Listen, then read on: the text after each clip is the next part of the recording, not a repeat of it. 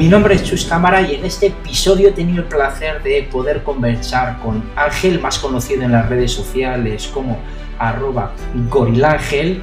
Durante toda la conversación vais a ver esa pasión, ese interés que tiene Ángel por leer, por conocimiento, por cultivarse, por conocer casi absolutamente todo sobre la hipertrofia y sobre la suplementación. Tratamos un montón de temas, desde aspectos más personales, de cómo trabaja, cuál es su formación, hasta aspectos que tienen más que ver con su, el desempeño profesional.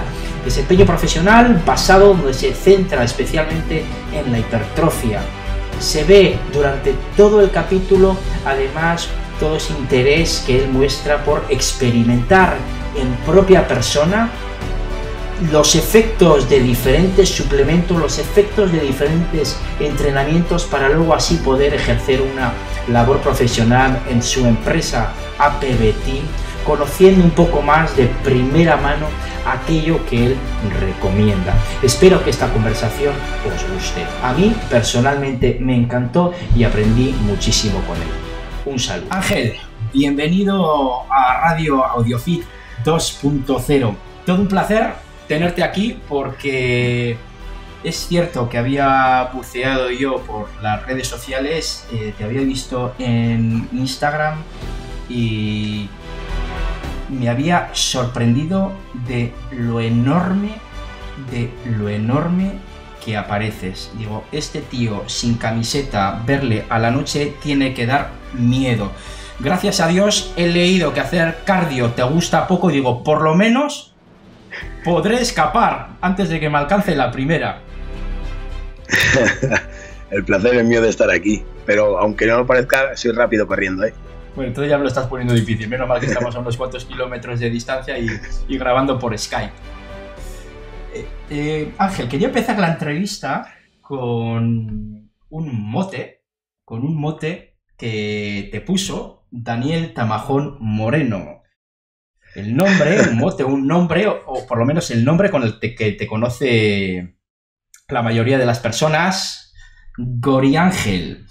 No sé si nos podías explicar un poquito la historia detrás de este nombre. Pues la verdad que fue lo más, lo más curioso y lo más gracioso del mundo. El primer día, lo típico, vas con amigos que llevan al gimnasio y te ponen pues a hacer lo clásico de un lunes, pues pecho. Y me pusieron kilos en manca y fui subiendo y acabé así con 35 por lado para así repeticiones, lo que viene a ser casi unos 90 kilos. Entonces, desde ahí me empezó a llamar así todos los días Daniel, se quedó y cuando me abrí Instagram, pues era un nombre que la verdad, pues daba mucho juego. Y ya me llamaban así en el gimnasio, o sea que... Ya te llaman así en el gimnasio. Sí, desde aquel día me llaman todos en el gimnasio, sí, o sea que... Y ese fue el primer día que fuiste al gimnasio. El primer día que había toqué unas pesas, saqué esos kilos en banca, o sea que. Eh, ¿Por qué fuiste ese primer día? ¿Tenías alguna motivación o simplemente te invitó alguien? ¿Cómo es que de repente apareciste ahí? Pues la verdad es que quería ir desde hace ya muchísimo tiempo, desde pequeño, porque siempre me ha gustado un cuerpo grande, pero como estaba con las artes marciales, aquí en Madrid te pedían autorización pues tuve que ser mayor de edad para poder apuntarme al gimnasio sin necesidad de pedir permiso a mis padres. O sea que. O sea que estamos hablando. mucho. Que estamos hablando que empezaste con 18 años. Sí, más o menos. más o menos con 18 años. De acuerdo. Y vamos a seguir con otra frase eh, que me ha encantado, que la he leído también en, alguna red social que, escribiste y que viene a resumir también un poquito pareceres de, de diferentes personas que son muy buenas en la labor profesional que desempeñan, que es esta. Si te rodeas de mediocres, serás el mejor de los mediocres. Pero si te rodeas de gente grande de verdad, llegarás muy lejos y serás grande de verdad, porque se aprende de los mejores. Esto me recuerda, antes de que nos expliques un poquito, me ha venido a la cabeza, me recuerda a un español que era eh, referente, creo que en el área del cáncer, y este se fue a Estados Unidos y dijo que la razón que él tenía para moverse de laboratorio, ya eh, volvió de Estados Unidos, ya está en, España, la razón que tenía para moverse de, la, cada laboratorio era que cuando él era uno de los que más sabía ya de ese área en ese laboratorio, dice, ahora es hora de moverme. Me ha recordado un poquito a esto porque tú aquí haces incidencia, ¿no? En que tienes que rodearte de gente grande de verdad. ¿Cuáles son tus referencias? ¿Cuáles son esas personas que consideras grandes y que te ayudan a ser mejor en aquello en lo que haces? Pues te hablaría de referentes internacionales, pero prefiero dejarme los nacionales, que son con los que tengo trato, con los que de verdad me rodeo y puedo aprender de ellos para crecer. Y pienso lo mismo que ese doctor, es decir, cuando tú eres el que sabe más, llega un punto en el que no aprendes. Sin embargo, si te rodeas de gente que sabe más que tú, que es mejor o que tiene otros puntos de vista, sean mejores o peores, siempre vas a poder aprender algo. Por ejemplo, a día de hoy tengo la suerte de, tener cerca a Eneco, a Batman Science, a Aitor de Fuerza Diario, que también han sido entrevistados, Carlos Salís, que compartí un curso y todo de universidad con él, y a muchos referentes más que no son conocidos en Instagram, pero que tienen una pasión increíble por la hipertrofia y que con simples conversaciones aprendes de ellos. Es decir, si me quiero rodear del hombre que lleva 50 años en el gimnasio, que no ha leído nada, no sabe nada y me sigue contando cosas que a día de hoy se saben que no son ciertas, no voy a aprender nada. Sin, sin embargo, si voy con gente que no para de intentar aprender, de mejorar, de formarse, pues ahí es donde voy a aprender de verdad. Vale, ya veo que mencionas un poquito el tema de la old school, de la, de la vieja escuela en la que luego vamos a entrar, pero has comentado dos cosas muy interesantes. Si te rodeas de gente que tiene diferentes puntos de vista, ah, es conveniente rodearse de estas personas porque muchas veces lo que hacemos es nos juntamos solo con los que tienen nuestro punto de vista y con ahí vamos para adelante. ¿Crees importante rodearse de gente que piensa diferente, que lo ve de otra forma? Sí, obviamente es lo más enriquecedor del mundo. Si todo el mundo piensa igual que tú, no tienes diferente punto de vista, no aprendes que no hay un solo camino, no hay una sola manera de hacer las cosas. Por ejemplo, el ECO es muy partidario de tensión mecánica, es el pilar fundamental, lo máximo, y yo, sin embargo, pienso igual que él, pero le doy un mayor, eh, una mayor importancia al estrés metabólico por lo que por lo del old school y demás. Entonces, yo le doy una cierta importancia, obviamente, no, no olvido la ciencia, y compartir opinión con Eneco, con Carlos, sobre esos diferentes puntos, sobre fatiga, pues es lo que te hace aprender. Si tenemos todos el mismo punto de vista y tratamos todo lo mismo, no llegamos a ningún lado. Habría que. Se me ha, venido ahora a la cabeza. Eh, creo que el nombre es Rose Battle. Eh, estas batallas de un humorista contra otro, en el que uno se mete contra otro y es a ver quién gana, ¿no? Quién produce eh, esa mayor sonoridad en las carcajadas del público. Tal vez sería interesante ¿eh? hacer una Rose Battle entre personas que os respetáis muchísimo, que sois amigos, pero que tenéis puntos de vista diferentes. De tal forma que podríamos estar un público y podíamos eh, juzgar lo que entendemos quién ha sido el que mejor ha defendido sus ideas. No sé si conoces si se hace ¿eh? algo así, podría ser interesante incluso en la universidad. ¿Quién justifica esto mejor? Sí, no, o sea, por ejemplo, en el último congreso que hizo en ECO, en el Summit Hipertrofia, se hizo una mesa redonda y cada uno éramos de nuestro padre y nuestra madre, es decir, cada uno tenía su opinión, le hacían preguntas, los alumnos y cada uno daba su opinión, argumentándolo y demás. Entonces, tú lo que con eso consigues es que la otra persona, el que te ha preguntado, coja toda la información necesaria y él haga su propia, o sea, su propia idea. En base a, porque ninguno se lo inventó, todos hablamos de la ciencia, de nuestra interpretación. Ya no tanto como una batalla, sino un debate en el que se pongan todas las ideas. Y eso normalmente lo estamos haciendo, también se va a hacer en el congreso que van a hacer el 29 de febrero.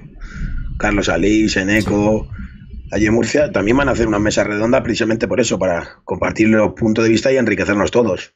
Sí, es, es, muy interesante lo que mencionas de diferentes puntos de vista. Yo me acuerdo incluso cuando defendí la tesis ya hace muchísimos años que un miembro del tribunal dijo que no lo haría como un apartado de la tesis como lo había hecho yo y después de terminar la justificación, otra persona, otro miembro del tribunal dijo, pues yo sí lo haría como lo ha hecho Chus, ¿no? Entonces es interesante, pero creo que al público, o a mí personalmente, me aportaría más que hubiera un vencedor y un vencido. Es decir, a mí me gustaría verte en esa batalla contra Neko o contra Carlos y que luego la gente votara un poco en plan coña, ¿no? Pero bueno, tal vez le pueda dar un poco de. Sí. Un poco de, de salsa. Un poco de salsa. Por otro lado. Si es sobre fatiga, Carlos nos mata a todos, ¿eh? Si es sobre fatiga del sistema nervioso, Carlos nos hunde a todos en el primer asalto. O sea que. Bueno, se lo... sea sobre hipertrofia que tenga para defender pondremos sobre hipertrofia y se lo pondremos un poquito, un poquito difícil a Carlos. Se lo pondremos un poquito difícil a, Carlos. Eh, vamos a pasar un poquito para adelante. Eh, comenzaste en el 2015-2016 el grado en Ciencias de la Actividad Física y el Deporte y antes de realizarte una pregunta respecto a la universidad, me gustaría saber de dónde viene esa curiosidad enorme que se te ve que tienes, ¿no? He sacado también en algún sitio donde has mencionado que te encanta leer papers, te encanta aprender cada día de algo nuevo, ¿no? La curiosidad es uno de los pilares que tenemos que tener para seguir aprendiendo, pero ¿de dónde te viene esa curiosidad por la hipertrofia, por la suplementación? Pues te diría que la curiosidad la tengo innata. Y ahora, esa curiosidad innata la he focalizado a lo que de verdad me gusta, porque siempre de pequeño he dicho en otras entrevistas, me, encantaba los físicos grandes, esto de lucha libre que veíamos todo de pequeño. Entonces, ya una vez eso, enfoqué toda mi curiosidad a eso, porque yo no empecé estudiando nada relacionado con la actividad física. Entonces, ya lo que fue con la, por vocación, enfoqué toda esa curiosidad. Pero sí es verdad que te diría que sin nata, porque en mi vida he podido leer libros como Harry Potter. Siempre tengo que leer algo que me enseñase algo. O sea, algo didáctico. Siempre ha tenido que ser didáctico lo que leyese. No podía leer una historia porque sí, simplemente. Entonces, yo creo que por eso, por lo que me encanta leer cada día un paper que me enseña algo nuevo. Tú me comentas algo que no sé, por ejemplo, terapia biocuántica que me comentan no hace nada. Y como no tengo ni idea, seguramente esa mañana me tire horas leyendo sobre eso. Entonces, es algo que tengo dentro. De acuerdo. Lo que has comentado ahora de leer, ¿no? Que mm, no te gusta tanto leer novelas, sino algo que te aporte, es también eh, un poco una diferencia que hay entre, entre mi pareja y yo, que ella lee muchísima novela, le encantan las historias y yo tengo la casa plagada de libros que habrá alguna novela, habrá alguna novela, pero casi todos son resúmenes eh, de compilaciones de artículos científicos que son monográficos, ¿no? Entonces, bueno, sí es cierto que para leer a la noche, que es cuando me gusta leer, pues no es lo más indicado porque te entra el sueño rápidamente, o tal vez sí, para que entre, te entre el sueño, pero es cierto que leyendo se aprende un montón. Y aunque parezca una obviedad, y lo acaba, y lo acaba de... y justo lo haya dicho yo ahora, leyendo se aprende. Te voy a decir por qué te hago esta pregunta. Porque en las clases que imparto, dependiendo del grupo, les suelo preguntar si suelen leer. Y la respuesta es que leen los posts de Instagram. Y les digo, ¿leéis libros? Libros en general. Y alguna vez me he encontrado con la desagradable sorpresa de que no, eso era algo que hacían nuestros padres. Eso ya no se hace. Entonces tal vez parezca una obviedad, pero tal vez esa obviedad sea para mí. Leyendo se aprende. Te diría que sí, pero no al 100%. Es decir, todo lo que leas, yo soy partidario de, obviamente, saber que está leyendo y ponerlo en práctica. Es decir, yo puedo leer que el sistema 3x10, 3x10 es el mejor, vamos a generalizar, 3x10 es el mejor, pero si no lo pongo en práctica, me falta ese pequeño porcentaje para aprender eh, todo el concepto del todo. Eso es lo que pienso yo. También es verdad, eh, los tiempos han cambiado. Eh, yo soy de una generación, soy de los 23, y soy de una generación casi que ha visto todos los cambios que ha habido. Y sí es verdad que a través de Instagram se puede aprender mucho, si escoges de quién, pero no negaría que hay que leer papers, libros, revistas científicas como Natis, más, para aprender de verdad. Porque está muy bien que la gente haga sus posts y divulgue, pero claro, ten en cuenta que es la interpretación que esa persona hace de un estudio científico. Tú con los mismos conocimientos puedes hacer otra interpretación. va a tener un hilo común porque la ciencia es la ciencia y lo que está demostrado está demostrado, pero ya el que vaya por un lado o por otro lo va a hacer tu propia interpretación. Y así es como se aprende. No, no reniego de, estas nuevas cosas.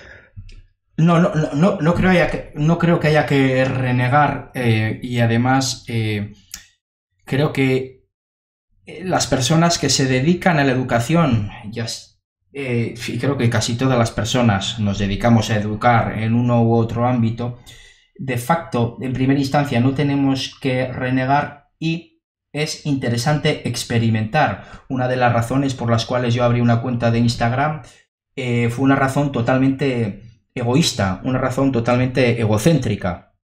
Un día hablando con Eneco, eh, pues llegué a la conclusión de que Eneco yo tengo que aprender de esto y la mejor, la mejor forma de aprender pues es experimentando. Y luego pues una vez que experimentas pues ya tienes una idea un poquito más formada. Pero sí es cierto que los cuarentones como yo tendemos de facto a rechazar eh, dichas eh, formas de formación o redes sociales, ¿no? Y, tal vez, bueno, pues ahí no sea la forma más adecuada cuando estamos rechazando algo de facto que, que, muchas veces está ayudando a la gente y está ayudando a que la gente se forme gratuitamente de gente muy buena, ¿no? Porque tener tus stories donde eres una auténtica enciclopedia sobre los temas que tratas, suplementación, temas de mujer, temas de eh, activación sexual o potenciación sexual, temas de hipertrofia. Es cierto que es un lujo escucharte y por lo tanto una persona que no tenga dinero, que no tenga tiempo, que simplemente no quiere ir a la universidad, se pueda formar con tus stories, pues, pues es de... Es, para agradecértelo, ¿no? Es para agradecértelo. Has comentado una cosa muy interesante, que no solo se aprende leyendo, sino poniéndolo en práctica. Poniendo en práctica. No sé si podrías, por favor, ahondar un poquito esta idea en el tema de la hipertrofia. ¿Cómo aprendes tú? ¿Qué te aporta la práctica? ¿O te basas simplemente en los papers? ¿Experimentas de alguna forma en el gimnasio aquello que has leído? ¿Cómo lo haces? Eh, sí, yo soy la típica persona, incluso con suplementos, con todo, que leo algo, lo contrasto, no, con un estudio no me vale, leo algo, eh, por ejemplo, estuve leyendo sobre técnicas de entrenamiento avanzadas, utilizaban varias y llegan a la conclusión de por qué las técnicas de entrenamiento avanzadas tienen su cabida y, tienen, y funcionan simplemente por estrés, por la acumulación de estrés metabólico, que indirectamente aumenta la tensión mecánica. Entonces dije, vale, pues vamos a probar a meter, controlando el volumen de entrenamiento, vamos a probar a meter todos los días una técnica de entrenamiento avanzada. Entonces, lo probé si me funciona, me lo quedo como herramienta, si no, pues no. Así es como aprendes de verdad sobre eso. No, pues a mí no me va a decir, no, es que la citrulina malato te ayuda a mejorar la vascularización. Y, tengo un buen punto, voy al gimnasio, tomo citrulina malato y ahí lo puedo observar. Sin embargo, si me quedo en el casa leyendo el paper y no lo pruebo, no tengo esa noción de si eso funciona o no. O me funciona, que también es lo que más me interesa a mí, que me funcione a mí. Siguiendo un poco esa línea, te voy a pedir ayuda. ¿Por qué? Como una de las... Creo que uno de los grandes aspectos a, mejorar, y puedo estar totalmente equivocado, pero uno de los grandes aspectos a, mejorar en mis clases, no hablo de las demás clases, hablo solo de mis clases, de las que donde yo imparto, es eh, darle un toque más práctico.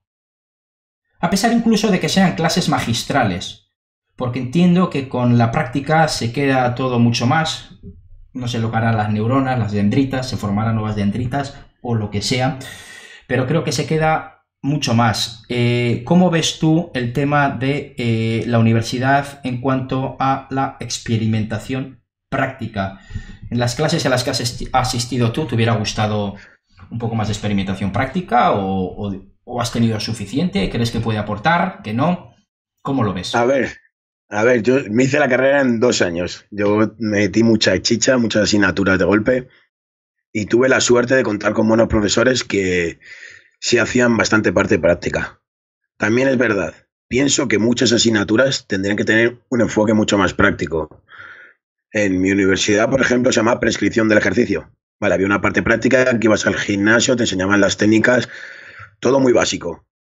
Pero en ningún momento nos dijeron, oye, tenéis que diseñar un entrenamiento para esta persona con esta patología y ya darte unas cosas concretas y que tú practiques. Porque luego vas a salir a la calle y no te vas a encontrar el sujeto ideal. Es decir, tú eres graduado de ciencia de actividad física, necesitas una base, pero una base general no la vas a obtener si no te ponen un caso aleatorio donde tú no sabes las condiciones y lo sabes resolver. O lo sabes enfocar de la mejor manera posible. Es decir, yo puedo ser una máquina en hipertrofia que si no tengo la base de ciencia de actividad física de que me venga una persona con una escoliosis, con una cifosis, con diferentes alteraciones o con una pierna más corta que otra, cualquiera que se te ocurra, y no sé solventar esa situación, en, de base no soy un profesional. Por mucho que luego me, me, especialice en hipertrofia, en competición, en culturismo, en lo que quieras. Pienso que falta ese toque práctico, que te haga desenvolverte. O sea, crear situaciones, por ejemplo, eh, yo lo haría a modo de examen final, de prescripción, eh, planificación del entrenamiento, coger una persona, poner unas condiciones y mezclar esas dos asignaturas, por ejemplo, y organizar un entrenamiento, una planificación de tres meses. Siempre, obviamente, las planificaciones son, son móviles. Las vas ajustando dependiendo de lo que te interese más, cómo va respondiendo la persona. Pero una teoría, una planificación teórica, a venir bien a cualquiera para empezar a salir al mundo laboral. Sí, lo, que pasa es que eh, has mencionado un, aspecto que me parece fundamental, que es la capacidad de adaptación. Tú tienes una base, eh, ya sabes o controlas bastante un, determinado tema, pero es muy importante eh, aportarle esa parte práctica para ser capaz de tienes que adaptar ahora a esta persona, ¿no? Nosotros que trabajamos con personas con estas determinadas características, ¿no? Que es luego lo que vamos a pasar un poquito al, gran trabajo que estáis haciendo en APB Team, que vamos a hablar luego, pero el tema de la capacidad de adaptación lo veo fundamental. También que haya bastante, que haya bastante práctica, sobre todo porque puede llegar a ser uno de los aspectos diferenciadores de la formación online respecto a la formación presencial. Eh, le comentaba a Marcos de AudioFit, a Marcos Gutiérrez, le comentaba que si yo tuviera que estudiar algo relacionado con el mundo del fitness, pues que me pensaría muy mucho si no se hace práctica en la universidad, si apuntarme, eh, matricularme en la universidad o apuntarme a, directamente a AudioFit o, a otras plataformas, ¿no? Entonces entiendo que la práctica tiene que ser un aspecto ah, fundamental. Dentro de la práctica, tú practicas con tu propio cuerpo, experimentas con tu propio cuerpo y lo dejas bien claro, y lo dejas bien claro. No recomiendo el uso de ningún suplemento, pero yo lo voy a probar. ¿Te gusta experimentar? Sí, pero porque lo, lo que te he comentado antes, eh, no sé si algo funciona hasta que no lo pruebo. O sea, a mí me puede decir un paper que X cosa funciona o no funciona, probarlo y que me funcione o no. Entonces, recomendar no recomiendo ningún suplemento porque no me parece ningún imprescindible. Ahora bien, sí reconozco que hay suplementos bastante interesantes fuera de los conocidos. Que le falta evidencia científica, sí, pero si tienen alguna evidencia científica, el estudio está bien planteado, está bien diseñado, pues la verdad que lo pruebo. Si, si no tiene efectos secundarios que me puedan alterar demasiado, que me vayan a provocar algún problema, obviamente lo pruebo. Por ejemplo, la higenamina clorhídrica es, un, un, compuesto similar a lo que sería un clenbuterol. También da positivo por la guada, pero a día de hoy no voy a competir en ninguna, en ninguna federación. Entonces, puedo, ¿por qué no probarlo si tiene diferentes efectos? Si es verdad que se ha demostrado que ya pues es más corto el efecto de lo que se pensaba, pues descartado, lo probé en su día y fuera. ¿Cómo evalúas luego eh, el efecto que ha tenido en tu cuerpo? ¿Es algo que tú notas? ¿Es algo que ves? ¿Depende del suplemento? Pues la verdad que llega un punto en el que ya te conoces. Es decir, tú ya sabes lo, capaz que eres de concentrarte, por ejemplo, y si pruebas un nootrópico nuevo y te da esa visión túnel, tú puedes tener ese criterio de decir, bueno, puede ser que sea efecto placebo, pero llega un punto en el que sabes que no es efecto placebo porque tú tienes una capacidad de concentración brutal en entrenamiento y te da ese plus, a lo mejor que a ti no te, que no podías llegar tú de concentración normal o porque tienes unas circunstancias personales que te lo impidan, que eso no pasa a todos. Por mucho que te concentres, siempre se te puede ir un pelín en la cabeza. Sí, sí. Y con cierto no trópico sí es verdad que lo he notado. Vale.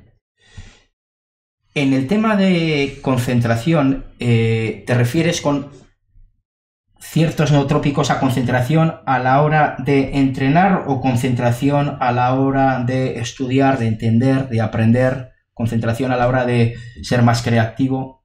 No sé si te he entendido de que es exclusivamente a la hora de entrenar o no. No, no, no. De hecho, eh, estoy probando ahora un suplemento porque quiero, bueno, estoy haciéndome una formación online y la quiero hacer cuanto antes. Y sí es verdad que estoy probando ahora un suplemento que es neotrópico que se utiliza para estudiar. Es un conjunto de neotrópicos que se utilizan para estudiar. No pienso que sea únicamente para el entrenamiento. En ese caso de estas sustancias. Son, ayudan a mejor, son sustancias que ayudan a mejorar la concentración. Que lo puedes utilizar en entrenamiento para sacar entrenamiento de calidad, sobre todo si tienes una carga de estrés laboral, estrés personal alta, o lo puedes directamente por esa carga, propia carga de estrés utilizarlo porque estás en la universidad de exámenes, estás con tu tesis y no te consigues concentrar en sacar las conclusiones de unos estudios. En. Uso tiene todo, todo el del mundo que sea aplicable. Es decir, si los neotrópicos se han diseñado para un concepto de concentración, todo lo que requiere esa concentración, ¿por qué no probar? Sí, bueno, creo que uno de los eh, principales inconvenientes, y va por ahí eh, la pregunta que, que te quiero realizar algo, es cuál puede ser el posible efecto negativo a nivel de la adicción a dicho, en este caso, no trópico. Es decir, si tú me dices, mira, chus, este nootrópico está comprobado, lo he experimentado yo también, que aumenta muchísimo la concentración y la creatividad, que para mí son dos de los pilares fundamentales en, el trabajo que desarrollo día a día. Y por lo tanto, bueno, pues tal vez sería interesante que lo probaras. Eh, en el momento en el que deje de tomar ah, dicha sustancia, tal vez me encuentre como que me falta algo en cuanto a que no puedo llegar a ese nivel de concentración que llegaba antes de empezar a tomar ese nootrópico. Y creo que ese es uno, eh, desde, desde mi total desconocimiento, que tal vez no sea así, pero las personas que desconocemos eh, ese ámbito, el ámbito de la suplementación, de facto el muro que tenemos es, y si eso me provoca algún tipo de adicción eh, comportamental, es decir, que tengo que seguir tomándolo para seguir eh, con ese nivel previo que tenía. No sé si tienes alguna reflexión al respecto. Sí, tengo una porque me ha pasado con personas que tienen una carga de estrés elevada y le he recomendado ciertos nootrópicos, alumnos míos que han firmado y demás, y obviamente previo a consentimiento. A ver, hay que entender que son herramientas puntuales, es decir, tú no vas con un martillo por la calle todo el día, solo lo sacas para clavar un clavo. Entonces tienes que entender que es una herramienta que tú necesitas en cierto momento por ciertas circunstancias. Eso es lo primero de todo. Lo segundo, tenemos la suerte que no trópicos de venta legal en cuanto a suplementación se ha demostrado que no tienen ningún efecto adictivo. Eh, eh, en cuanto a nivel orgánico, es decir, si eso allá hay otros no trópicos a nivel farmacéutico, como su nombre indica, farmacéutico, ya tienes que dar ese paso, que si lo tienen, vale, ya teniendo clara esa diferenciación y lo de que es una herramienta puntual, tenemos que, saber que si ya no tenemos las condiciones de antes, no necesitamos el no trópico, porque antes no lo necesitábamos. Es un factor psicológico que muchas veces parece muy fácil cuando yo lo explico, pero como tú dices, no lo es pero hay que darse cuenta uno mismo que tú lo has utilizado por las circunstancias que lo has utilizado y ya está. Que no es algo que puedas utilizar de manera continua, o puedes utilizarlo, pero que es absurdo. Si no necesitas, es absurdo. Tú necesitas ponerte un abrigo en verano, no te lo vas a poner. Pues esto es igual. No, pero eh, voy a hacer un poco de abogado del diablo, ¿de acuerdo? Me gusta. Eh, tomo café hace digamos que tomo café desde hace pocos años. Eh, tuve ah, episodios de estrés, pues diferentes causas profesionales y personales, tal vez un poco alto, un poco alto y como consecuencia de eso, pues mi sistema inmune me jugó una psoriasis, no muy aguda. Entonces hice, leí un poquito sobre este tema, hice un ataque multifactorial, es decir, voy a ver lo que puede funcionar contra la psoriasis. Lo que era obvio era disminuir la cantidad de estrés. Entonces, a nivel profesional, eh, bajé el trabajo que estaba realizando. Hoy en día ya realizo muchas menos tareas. A nivel personal, consigue también aliviar. Pero también por el efecto antiinflamatorio de la cafeína, pues lo quise probar. Y me encontré que efectivamente la psoriasis bajó, pero me encontré con un refuerzo positivo. Y es que cuando tengo que pensar, tomo cafeína. Tengo la suerte de que no aumenta, no soy una persona muy sensible a la cafeína y aumenta mi nivel de estrés, que era uno de los miedos que tenía. Pero si tengo que pensar, eh, para mí no hay nada mejor que levantarme a las 6 de la mañana, habiendo dormido bien esa noche, tomarme un buen chute de cafeína y ponerme delante de un papel eh, con un boli. Eh, las mejores ideas me han venido en, la mesa de, de, la cocina, bueno, de la cocina salón porque tenemos aquí todo junto. Entonces, uno de mis miedos es que, bueno, mis miedos, o puede ser, ahora tomo cafeína, porque me ayuda. A pesar de que en teoría no me haga falta, ya no tengo psoriasis, pero he visto que me ayuda. He visto que un trópico me ayuda. Y yo eh, necesito concentrarme porque produzco más y tengo menos ideas. Lo voy a seguir tomando. Es más una adicción comportamental, tal vez no orgánica, pero sí comportamental. Es un hábito. Es un hábito es un hábito. Es un hábito. Es decir, eh, todo, todo, nos ha pasado cuando hemos tenido que madrugar más o, y hemos dormido menos. El café por la mañana y decir, no, sin café no soy persona. Pero has probado a no tomar el café durante varios días a ver si eres persona. Y resulta que sí eres persona igualmente, que no tienes que tomar esa cafeína. Entonces, es un hábito comportamental.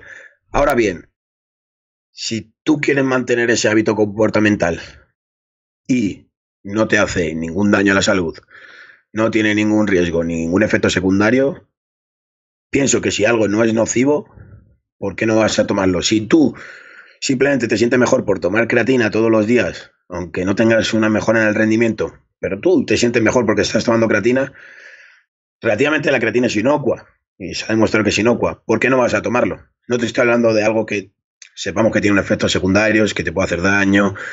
La cafeína es uno de los suplementos más seguros que hay a día de hoy, excepto que tenga ciertas patologías concretas. Si no las tienes, no te va a hacer mal tomar esa cafeína. Pero como todo, eh, el veneno está en la dosis.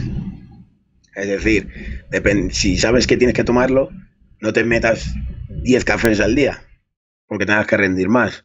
En caso de que lo quieras hacer hábito, que eso ya depende de cada persona. Yo no, no cogería un hábito dependiendo de una sustancia.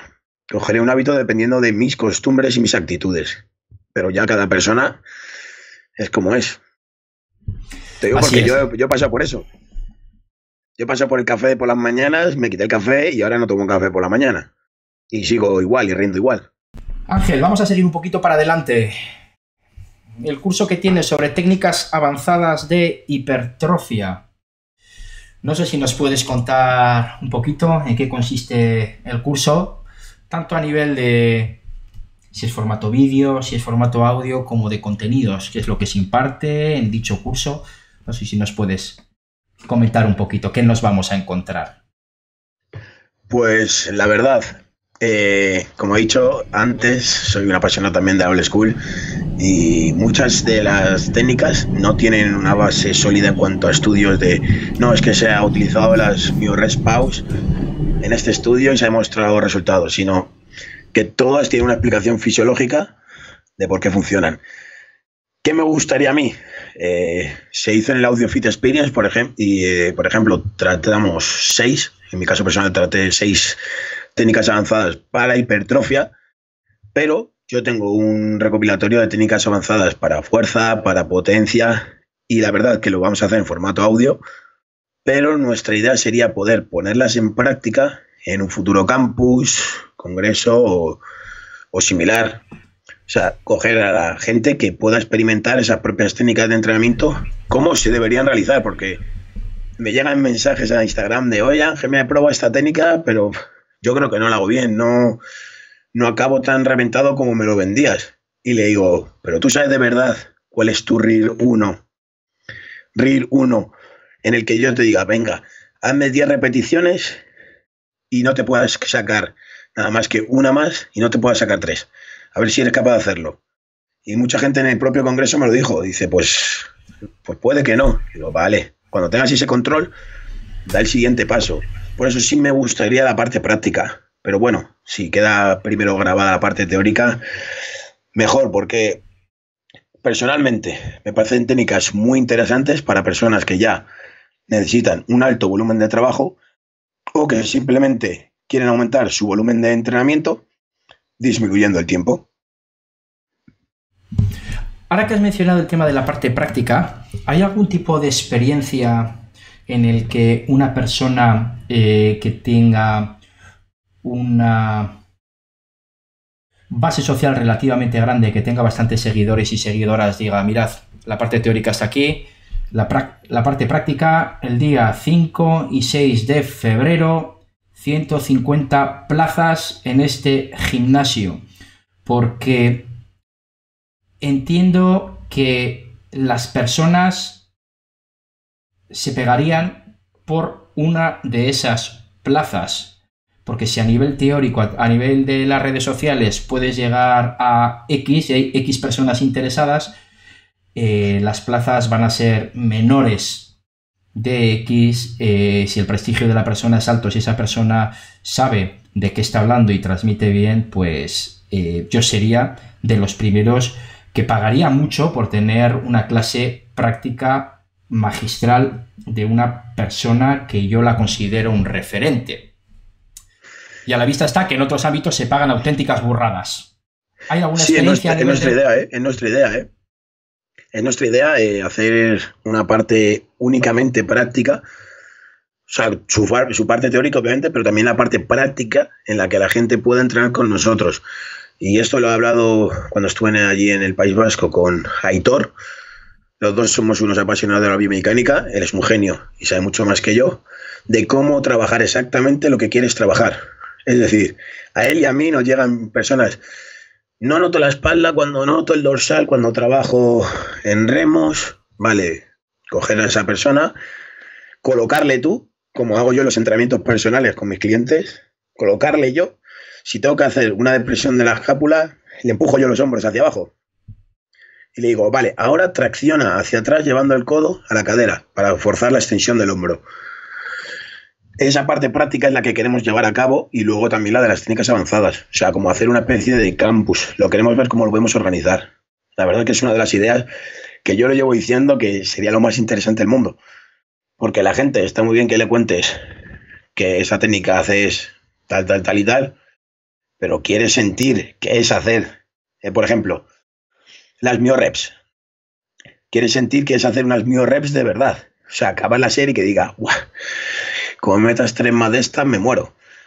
Y a la gente le gusta esa sensación. O sea, con mis clientes yo lo he visto que en verdad les gusta el ponerlo en práctica. Tengo clientes de café, o sea, de INEF, y, y cuando les hago entrenar de la manera más concienzuda posible, dicen, guau, si es que noto la espalda que me va a explotar. Y van, van más contentos y sienten que lo que me están pagando es una inversión de verdad. Entonces, yo soy partidario de hacer ese curso ya. O eh, campus, eh, o como quieras llamarlo. Sí, como, como se llame, ¿no? Entiendo que también será, a nivel de infraestructura, no tiene que ser muy sencillo, ¿no? Porque hará falta, hará falta una gran infraestructura o reducir el número de, de alumnos y alumnas? ¿O estáis manejando, no quiero que me des ninguna pista, no quiero que des ninguna pista, pero estáis manejando alguna alternativa para poder ofrecer a un alto número de personas? Sí, yo sí, eh, a modo personal yo me estoy moviendo. Luego, obviamente, quiero contar con, con AudioFit, por el mismo apoyo que me dan ellos, obviamente no, no lo voy a olvidar. Entonces, a modo personal, yo sí lo estoy intentando hacer y cuando ya lo tenga casi todo hecho, hablarlo y gestionarlo. Porque yo trabajo para otra empresa que es Noco y tengo contacto con muchísimos gimnasios. Entonces, eso me da una facilidad para hacer ciertas cosas al conocer a los dueños.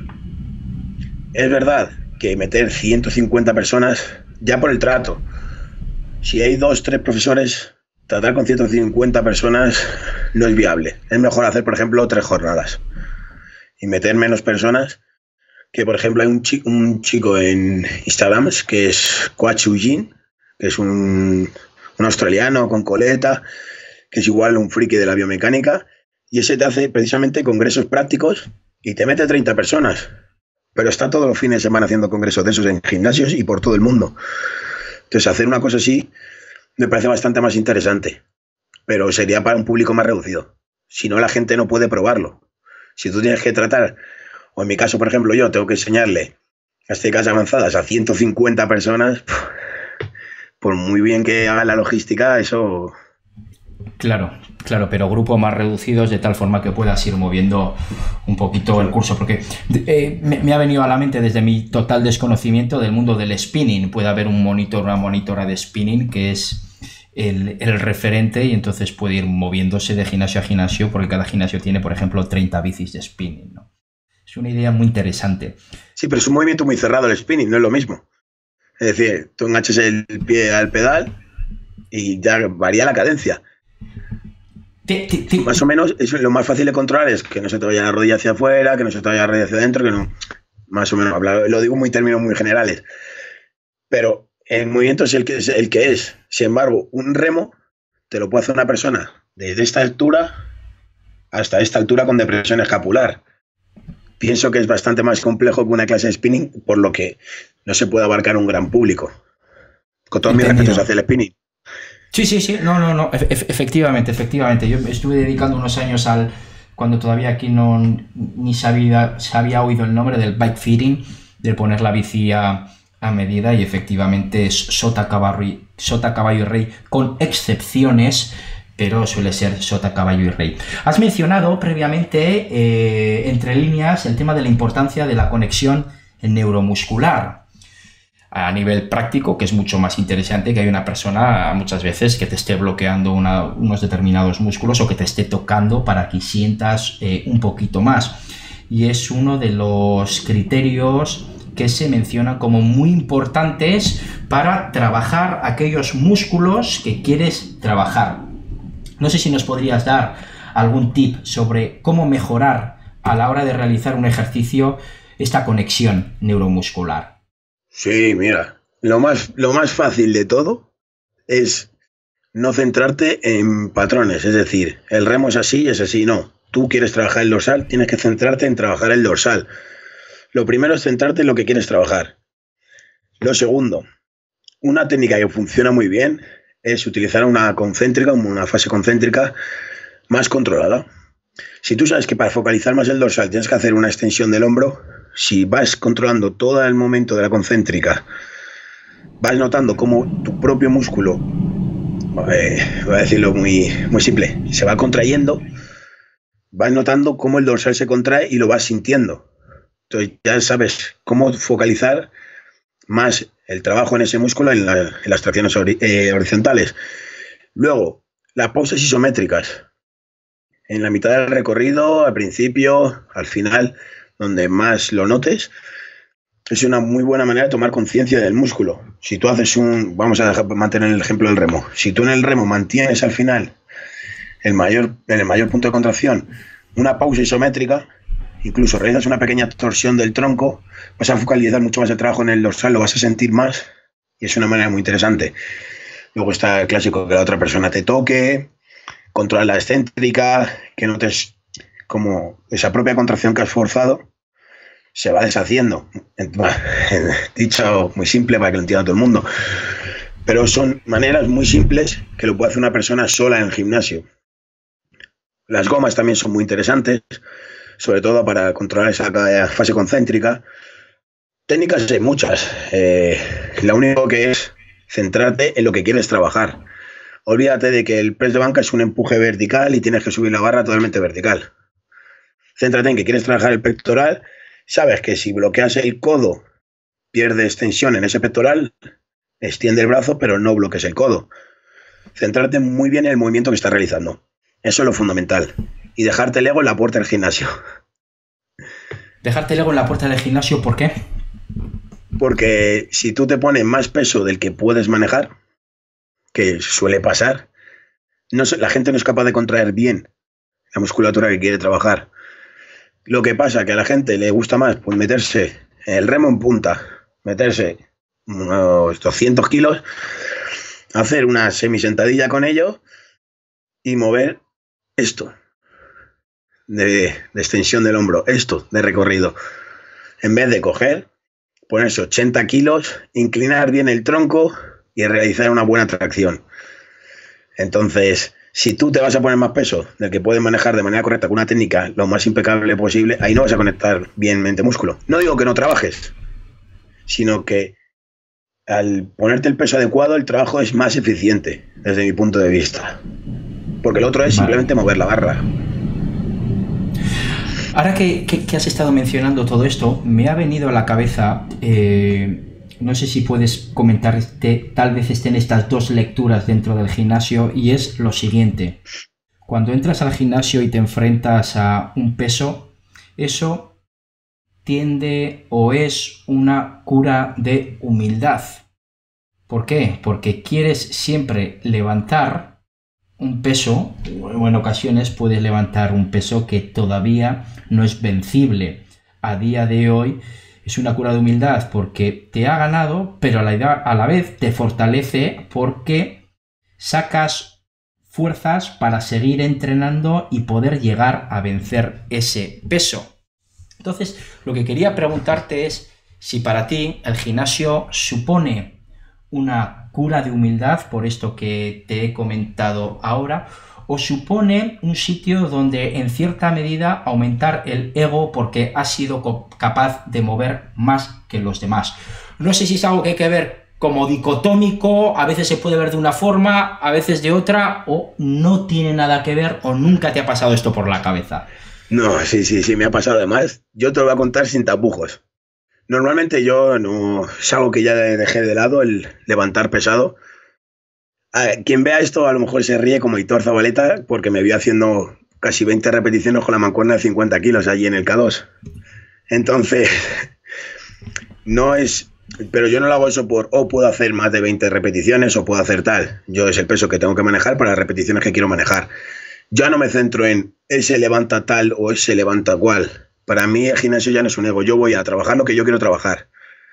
Sí es verdad que muchas veces todos hemos pecado de eso. Si vas a, con un compañero que tire un poco más que tú, te acabas picando. Si trabajas un poco más, eh, hablando mal, en rangos de fuerza más, dinámica máxima, en rango de fuerza, menos de cuatro repes, si es normal que tengas un poco el ego de, guau, lo tengo que levantar porque por mis narices, pero por norma general yo ese aspecto ya lo he dejado.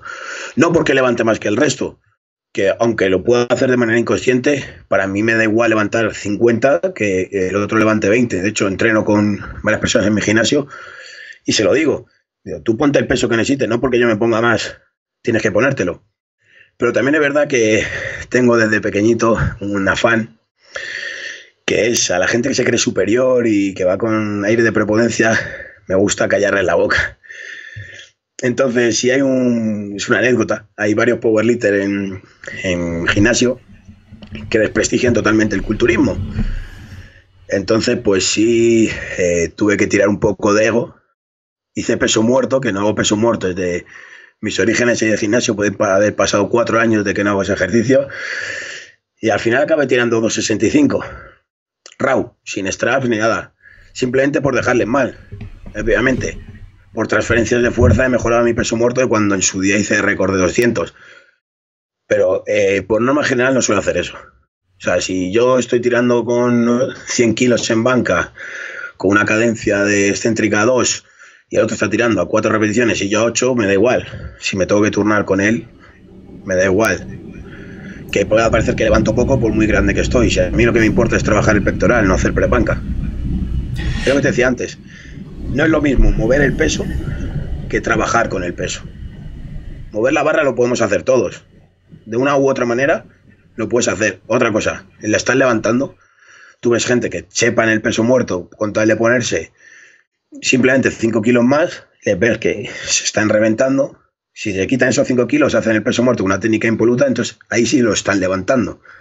En el otro caso lo están moviendo, porque los contras son mayores que los pros. Me parece muy interesante lo, que has comentado de, Tal vez en tu caso no fue una evolución, pero en mi caso sí en diferentes deportes en la que te dejas de fijar en los demás para fijarte en ti, para fijarte en lo que haces. Y creo que es uno de los grandes eh, avances que podemos dar porque hoy en día a la hora de realizar un deporte, bueno, en casi todas las áreas te fijas en los demás, en lo bien que lo hacen los demás, lo mal que lo haces tú o quieres aparentar más y eso en última instancia te llega a la frustración. Entonces en el momento en el que dices, no, yo recorro mi camino independientemente de lo que hagan los demás. Pues eso es un paso muy positivo, independientemente de que tires más o que tires menos. Voy a matizar. En mi caso yo vengo del mundo de las artes marciales. O sea, la cura de humildad viene de serie. Es decir, no, es así. Normalmente, si tú vas a competir en peso crucero, los entrenadores son ahí sí que son old school y no hay que los cambie. Sobre todo en las artes marciales mixtas, en Muay Thai, en artes, en artes marciales no olímpicas, que ya están bajo el CSD y tienen otro control. Sí es verdad que son muy vieja escuela, entonces si tú vas a competir en crucero te ponen con tíos que son dos categorías más pesados que tú. Que sí, que le vas a hacer frente, pero si un tío te está sacando 8 kilos y sabe pegar igual que tú de bien, pero tiene 8 kilos más, vas a pillar. Entonces, eh, lo bueno de las artes marciales es que aprendes siempre ese respeto y, como que lo tienes ya grabado. Yo llevo en las artes marciales de los cuatro años, entonces lo tengo ya como en el subconsciente grabado. Es decir, no, yo no soy mejor que nadie, pero nadie tampoco es mejor que yo. Entonces, tienes eso de que yo sé lo que yo sé hacer, pero yo no sé lo que sabe hacer el otro. Siempre vas con eso. Puedes ir a un campeonato y haber superado a todos los rivales como si fuese eso un paseo, llegar a una semifinal y que te peguen una tunda que, estés o, la pierdas casi. Y eso me pasa a mí y te da una cicatriz en el ojo por eso. Y la, gané, el combate, pero es lo que te digo, ya eh, fue mucho más difícil que otros combates. Entonces, directamente tiene esa cura de humildad dentro. Vamos, eso de, en, en gente que viene a las artes marciales sí es verdad que lo he visto. Pero eso matizo, que, muchas veces a todo el mundo le hace falta esa curita de humildad, decir que no soy el pez más grande de la pecera, siempre va a haber un pez más grande. Siempre va a haber un pez más grande, siempre va a haber un pez más grande, sí. Sí, lo que has comentado de la cura de humildad creo que es algo que es fundamental eh, también dentro del sistema educativo eh, tener dicha cura de humildad. ¿no? Yo que tengo tres hijas, eh, cuando hacen algo le digo, le digo, lo, vas a hacer mal, te vas a equivocar, te vas a equivocar 500.000 veces y, y yo no estoy aquí para decirte que lo has hecho mal, estoy aquí para ayudarte a levantar. Y yo soy el primero que voy a trabajar y cuando voy a mi trabajo hago las cosas mal. Pero no importa tanto lo mal que lo hago, sino la capacidad que tengo de, de levantarme, ¿no? Y eso pues te, te pone los pies en el suelo te pone los pies en el suelo y te quita mucha carga mental, ¿eh? Te quita mucha carga mental y a partir de que hay cosas que aunque no quieras van a salir mal, pero lo que hay que ser es tirar hacia adelante. Lo que parece que no hacéis, lo que parece que no hacéis mal es el trabajo que estoy realizando en APB Team. He estado viendo, he estado ojeando un poquito los cambios de José Ángel, de Lorenzo Ferraro Larry, de Raúl y algún otro por ahí que me has comentado antes off the record. Algo tenéis que hacer bien, algo tenéis que hacer bien porque dichos cambios son espectaculares. ¿Qué trabajo realizáis? ¿Qué trabajo de asesoría realizáis? ¿En qué consiste? Pues te acabo de hablar de humildad y ahora me voy a tirar las flores del mundo. Todos esos cambios son míos. Todos esos cambios los he realizado yo. Es decir, si es verdad que tengo gente que hace asesorías independiente a mí. Ellos lo saben, tienen su contrato, todo y todo gestionado en plan estructura. Pero sí es verdad que todo lo que publique es trabajo mío. O sea, que he hecho yo en cuanto a entrenamiento y dieta. Bien, eh, soy partidario de que si haces algo, hazlo bien. Entonces, con estas personas también son muy dedicadas. Eh, te lo digo, ninguno es un portento genético, porque ninguno es un Adonis, ni era un Adonis, ni venía ya con una base increíble. Ese gente que trabajaba, que entrenaba, le gustaba entrenar, pero simplemente les hacía falta cambiar el cómo estaban haciendo las cosas. De hecho, por ejemplo, José Ángeles graduó en CAF, le conocí en la carrera, en un curso. No, es que yo, como yo hice la carrera en dos años, pues coincidí con muchísima gente y conocí a mucha gente. Y es un chiquito que conocí y simplemente le hacía falta eh, otro punto de vista, el ver que no siempre más es mejor, que mejor es mejor, que no hace falta el cardio hasta que no sea necesario y que tú lo que tienes que hacer es comer acorde a cómo entrenes. Y es decir, respecto al estímulo que le estés dando al cuerpo, tienes que recuperarte de ese estímulo. Si tú consigues recuperarte de ese estímulo, obviamente vas a tener progresos. ¿Qué quiero decir con esto? Yo soy partidario de la recomposición corporal. Si tú cumples todos tus requisitos en cuanto a nutrientes, pero priorizas ciertos alimentos, siempre vas a tener ese ligero déficit que junto con el déficit que se genera al regenerar tu propio cuerpo de ese trabajo, va a ayudar a que pierdas grasa y mantenga la masa muscular o incluso ganes. Que ganes va a ser mínimo, va a ser muy poco, pero ese ligero déficit te va a hacer perder la grasa que te venías de, de antes sin perder la masa muscular. Entonces es, como digo yo, hilar fino dentro de lo que busca eh, la persona. Por ejemplo, Lorenzo es un caso aparte. Lorenzo es un tío que en invierno le gusta comer como un animal, pero si se tiene que poner espartano, se pone espartano. Entonces, te cumple, te haces, cuando le tocó hacer cardio los últimos meses, hacía el cardio, que le puse un ayuno porque es un tío que le gusta comer mucho, entonces prefería comidas más copiosas, pues te aguantaba el ayuno. La verdad que son gente dedicada. Y pues si quieres conseguir unos resultados hilando fino, tienes que ser así. Si quieres conseguir usuario, eh, eh, resultados a nivel usuario, o sea, es decir, cualquier persona en la calle que quiere encontrarse bien, que quiere verse bien, con hacer las cosas bien, no tienes que hilar tan fino, lo puedes conseguir. Pero esta gente quería ya cosas fuera de lo común, por así decirlo.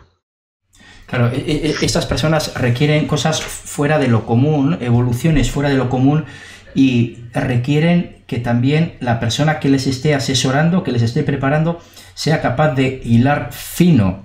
Y con esto quiero remarcar la importancia de tener asesores o preparadores o preparadoras físicos que sepan lo que están haciendo y una cosa muy, muy interesante en tu caso en concreto es que experimenten.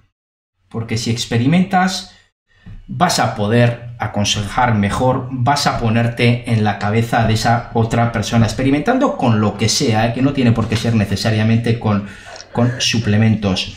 Uno de los temas que me viene a la cabeza es que también entiendo que puede ser eh, muy importante ponerse en la cabeza de la persona a la que estás asesorando, porque entiendo que la debilidad mental pues en algunos momentos tiene que ser muy grande, ¿no? Cuando estás hablando de unas rutinas que pueden ser más o menos duras, de que tienes que restringir o cambiar un poquito los hábitos alimenticios, o hay una persona que está encima tuyo que te entiende o no vas a ningún lado.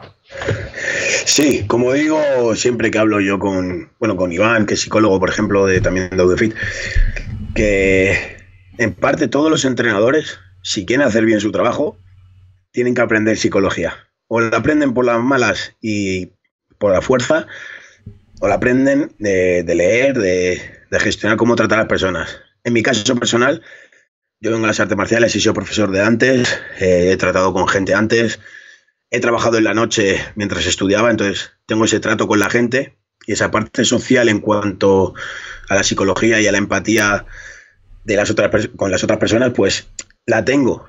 Y si es verdad que te voy a decir un tío, no, es que mira, tengo estas circunstancias y es muy importante que tú lo entiendas, le ayudes y vale, puedes echarle la bronca, porque yo se lo digo, yo les echo la bronca cuando hacen algo que no deben, pero luego les explico el que después de echar la bronca, que les entiendo, eh, que no pasa nada y que simplemente es una equivocación. Respecto a lo que hablabas antes, yo le digo a la persona, oye, te has equivocado, no pasa nada, sigues. O los errores aprende. Entonces, siempre me pongo en el caso de la otra persona porque cada persona es un mundo y tiene sus circunstancias. Entonces, tú puedes tener una vida idílica que no te pase nada, eh, pero eso no, yo no conozco mucha gente que sea así, que no tenga ninguna carga eh, laboral o, o, que esté estudiando. Y cualquiera que quiera competir, que quiera un, algo ya un poco más fuera de normal, es decir, porcentajes grasos muy bajos, simplemente por gusto, como Lorenzo, pues requiere un trabajo psicológico por mi parte también de decir, tío, venga, que lo estás haciendo muy bien, pero es que me apetece mucho esto. Mira, no te preocupes, que tienes que mantener esto una semanita, vamos a hacer una carga luego y se te va a quitar todos esos antojos. Aguanta y darle ese, ese apoyo, porque eh, es verdad que todos en cierto momento necesitamos el apoyo de otra persona. Sí, eso que menciona me parece muy interesante. Eh, amigos eh, que tengo que son preparadores físicos de equipos de muy alto rendimiento, mencionan siempre la importancia de ponerse en la cabeza de los demás y de la importancia del aspecto psicológico. Y dicen muchas veces antes de la competición o antes de la carrera, esa conversación que tienes con el deportista va a marcar en gran medida el devenir de cómo va a rendir durante la competición, ¿no? Y es gente muy experta en áreas como la biomecánica, áreas como la fisiología, pero lo único que hacen es engrandecer la labor de la psicología y la labor de, esa conversación con el deportista. Quiero avanzar un poquito para adelante, vamos a salir ya un poco de estas que son tus áreas, a otras áreas que también me interesan, porque siempre me ha interesado eh, saber o conocer cómo os organizáis las personas que sois muy buenas, que sois referentes en, un ámbito determinado, independientemente del ámbito. Porque si yo sé cómo tú te llegas a organizar, tal vez a mí me dé alguna pista de, bueno, eh, tal vez eh, este hábito que tengo yo no sea el más adecuado porque hay otras personas que son muy buenas en su área y tienen otro tipo de hábitos. Yo no sé si a nivel de organización, de trabajo, de estudio, tienes algún hábito, alguna rutina que te guste cumplir, te guste llevar o en cambio es algo que lo haces de forma inconsciente o eres una persona totalmente caótica y te desenvuelves muy bien en tu caos. ¿Cómo te organizas tú, Ángel, en ese día a día? Pues te podría decir que tengo ambas virtudes, es decir, yo soy una persona que me gusta tenerlo todo estructurado, pero porque por el simple hecho de que vas a rendir más. Mi día empieza pronto porque tengo, en mi caso profesional lo hago por gusto, yo entreno dos veces al día, hago divido el entrenamiento de fuerza en dos sesiones, una madrugo, bajo al perro, eh, voy a entrenar y luego tengo mi trabajo para una empresa vuelvo y tengo que hacer entrenamientos personales, asesorías y mi segundo entrenamiento. Entonces, si tengo que cumplir con todo eso, tengo que tenerlo estructurado de una manera que me permita cumplirlo todo. Pero, por ejemplo, los fines de semana, sí es verdad que como me doy un poco más de libertad, eh, sé que tengo que cumplir con las asesorías, sé que tengo que cumplir con, con las revisiones y sé que tengo que leer. Entonces, el fin de semana sí suele ser un poco más caótico porque también tengo más vida social, pero es lo que digo. Para eso estoy de lunes a viernes como un robot. Para el domingo tener eso un poco más despejado. El entrediario que te diría, pues, o me gusta leer un paper mientras desayuno, mientras que sería mi post-entreno, mientras como, eh, aprovecho para leer, porque es cuando de verdad tengo tiempo para pararme a analizar las cosas, y luego por la noche. Esos tres momentos son todos los días. Suelo leer tres, cuatro papers, o incluso ver vídeos de YouTube de compañeros como Eneco, que la gente puede decir, bueno, ¿qué te puedo contar Eneco que no sepa? Bueno, a lo mejor me cuenta lo que no sepa. ¿Quién dice que no? O me das, como hemos ya hablado antes, su punto de vista. Y luego el fin de semana, pues ya me desenvuelvo un poco más en. Sé que tengo que hacer la compra de la semana, sé que tengo que organizarme los pesos de las comidas por, lo, por mi estilo de vida que lo requiere. Sé que tengo que hacer las cosas para el de lunes a viernes ser más robot, entonces me organizo un poco más flexible pero acabo haciendo todo. veo, que vives, veo que vives por y para la hipertrofia. Organizas tu vida independientemente de otras áreas que también tengas. Pero eso es una persona que vives para ello. Te dirá que sí, que no, pero por el simple hecho de que a mí entrenar eh, me gusta cuando hacía artes marciales me gustaba, era como mi momento del día. Si es verdad que ahora he llegado al punto de, es que va a sonar muy egocéntrico, de control, que puedo dividirme el entrenamiento en dos sesiones, entrenar más duro, menos tiempo, que aunque la gente se piensa que es que dos sesiones te requieren más tiempo, a mí me requieren en tiempo total a lo largo del día menos, y tener más progresos. Entonces, no es que viva para ello, sino que he sabido optimizarlo de tal manera que me sirva para bien. Me sirve para empezar bien el día, aunque acabe reventado, me sirve para empezar bien el día. Sé que a la hora que iría por la tarde, los gimnasios suelen tener más, más afluencia de gente, entonces, si me acorto mi sesión de entrenamiento, es más fácil que tarde menos porque toque turnarme con menos personas o no coincido, aparte me organizo para no turnarme con nadie. Y mi tiempo total de entrenamiento es, con calentamiento y todo, una hora por la mañana y una hora por la tarde. Y en personas que requieren un alto volumen de entrenamiento, te pueden decir que dos horas de entrenamiento diarias no es tanto. Cuando requieres un volumen alto. Entendido. Que es que parece que vivo para hipertrofia, pero no, en realidad es que me organizo para sacar el mayor provecho a todo. Así lo veo yo. Luego a lo mejor de fuera se ve de otra manera. No, eh, pero sí, es cierto que las personas que he entrevistado se organizan para sacar el mayor provecho de aquello que hacen. Tiene que ver con, el tema del fitness y con el mundo de la hipertrofia, ¿no? Las personas que, he entrevistado. Pero son personas que son muy eficientes diciendo, si quiero mejorar en esto, eh, suelen tener siempre en cuenta también la variable tiempo. Es decir, si quiero mejorar en esto, tengo que controlar también mucho el tiempo que le dedico a ello y el tiempo que, dedica, que dedico a los demás, ¿no? Y con esto, con la pregunta, con la aclaración que quería hacer, que no quería en ningún caso reflejar que dejes nada de lado, sino que la gran capacidad que tienes para organizarte, para trabajar en tu área. Ángel, quiero terminar con la última pregunta. No tiene nada que ver con la hipertrofia ni con ninguno de los anteriores temas en los que hemos estado hablando, sino que tiene que ver con una película de ciencia ficción. Y en esta película sucede lo siguiente, el Homo sapiens, también, bueno, también somos un poco neardentales porque parece ser que tenemos en torno de un 3 a un 6% de neardental, coexistieron y tuvieron descendencia y somos el resultado de dicha descendencia, por lo menos tenemos ahí una parte de neardental, el Homo sapiens va a desaparecer de la faz de la Tierra y junto con su desaparición va a desaparecer cualquier vestigio asociado al Homo sapiens, es decir, no va a quedar ni rastro de nada. Vamos a volver a cómo era la Tierra hace 65 millones de años antes de que cayera el meteorito en Yucatán. Y tú Gorilángel va a ser la única persona que va a escribir en un papel a bolígrafo una frase.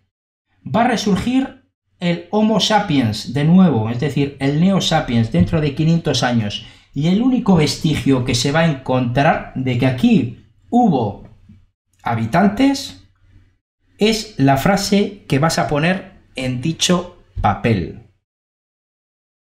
¿Qué frase es esa? Vale. Pues te diría que cada persona intentase ser lo mejor posible de su versión sin pisar a los demás, que nunca hagan lo que no les gustaría que les hiciesen. Y yo creo que la convivencia sería brutal. Evolucionaríamos de nuevo. Evolucionaríamos de nuevo. Ángel, muchísimas gracias por esta conversación tan gratificante para mí. He aprendido muchísimo de ti, eh, me ha encantado, hemos profundizado en algunos temas, en algunos otros me gustaría haber profundizado más, pero se nos iba el tiempo. Pero de verdad, desde aquí, agradecerte toda la labor que estás haciendo en las redes sociales, que es por donde te conozco, porque tener a un profesional de tu calidad que te esté dando esas clases magistrales, que son para coger a boli todo el rato o ver los vídeos y volver a verlos, eh, me parece algo excepcional, me parece una gran labor porque hay muchísimas personas que no se pueden formar por otros medios, por la razón que sea, y por lo tanto tener aquí a un experto en, el tema de la hipertrofia y en el tema de la suplementación y otros, otros muchos temas que tratas, porque se ve que aquello de lo que hablas son temas en los que tienes un amplio conocimiento, es decir, no te gusta hablar sin decir nada, te gusta hablar transmitiendo información y transmitiendo experiencias. Así que de verdad, Ángel, muchísimas gracias por toda tu labor y por esta conversación. muchas gracias a ti y a todos los que me apoyan, que obviamente si el trabajo que hago para ellos, se agradece también que estén ahí, obviamente. Así que muchas gracias por la entrevista.